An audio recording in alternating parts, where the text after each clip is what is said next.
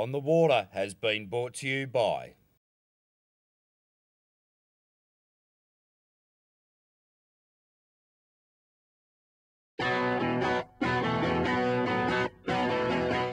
Here we have Angus Roberts, skipper of the Searoad Mersey 8,000 tonne trading ship. Angus, firstly, welcome to the show. Yeah, mate. Welcome, guys.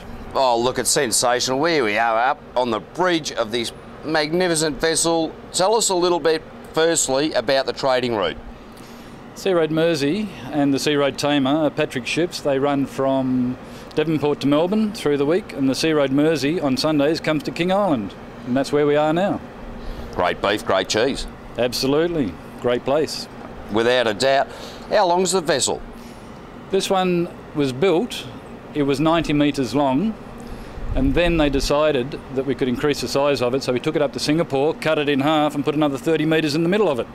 Right, I've noted, we've had a look at the uh, lifeboats on board. There's obviously a lot of safety equipment. Uh, tell us a bit about the lifeboats first up. We have 15 crew. The lifeboats are um, eight and a half metres, uh, sorry, about 30 feet long, 25, 30 feet long. Seating for 17, so each boat can take the total crew. Uh, the one on the starboard side is a rescue boat because designated Bass Strait trade, we were going to be the vessel that was called in first if there were any mishaps in Bass Strait. So the starboard boat is a little bit faster than the other one and we can retrieve it in heavier weather than the other lifeboat. Well, 15 crew, what are they doing? Every night we're at sea and every day we're in port. So they call us the Black Widows, and the guys are working through the day lashing the cargo and unlashing cargo. And then in the evening, there's two people on the bridge at any one time, one keeping a lookout and one navigating the vessel, keeping it on track. There's some fairly sophisticated systems on board, as you'd expect. What, you know, how long does it take to get a ticket to uh, be the skipper of one of these vessels? It's a fairly complicated system. In my day, we did three years at sea, a year at college, so there's four. Another three years, and then another year at college, so there's seven, eight. Another three years and another year at college, so it's about 12, 13 years before you get your master's certificate. And then you have to wait for someone to die to get the job.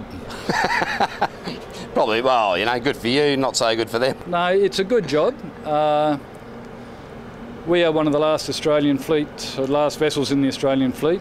The government has had their say with the Australian Merchant Navy, along with the companies. But we feel that we provide a good service for Bass Strait, and in particularly for King Island. Um, there's not too many times that we can't get in and out of the harbour. It's a good trade. It's a good good company to work for. Atrocious weather going across Bass Strait, I'm sure.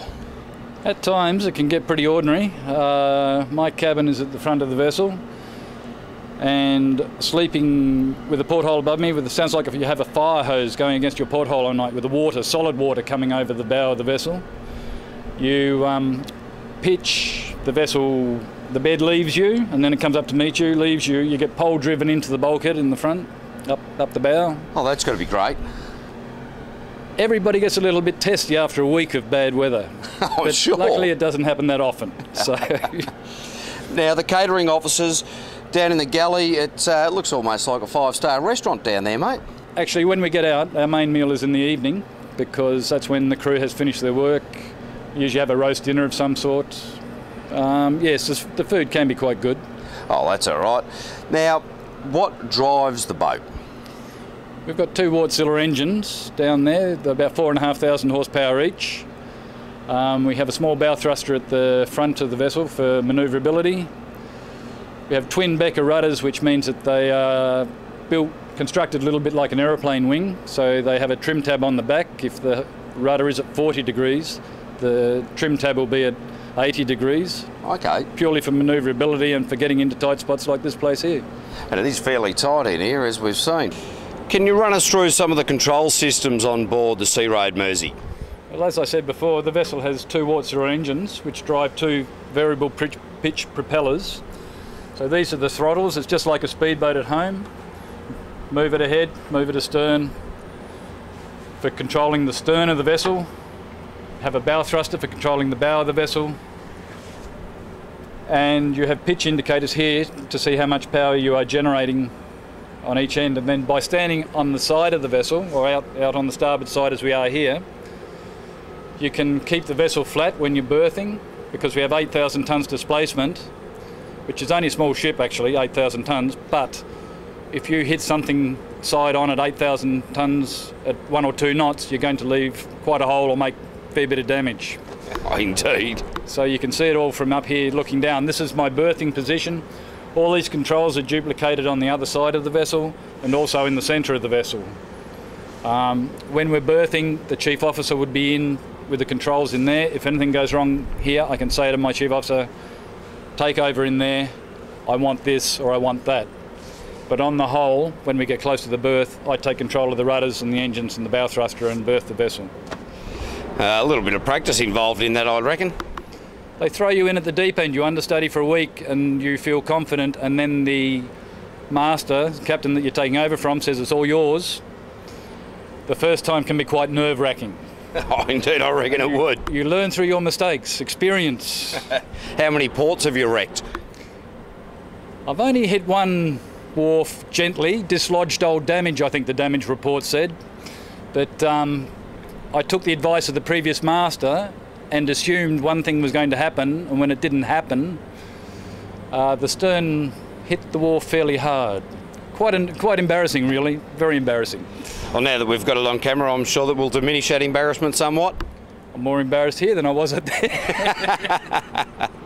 Angus, thanks very much for inviting us on board the Searoad Mersey. One last question Can I have a go? well, caveman, you can do anything on this boat. You put your mind to it, you can get there. Might be captain one day. Have a mop. Swab the deck. That's it.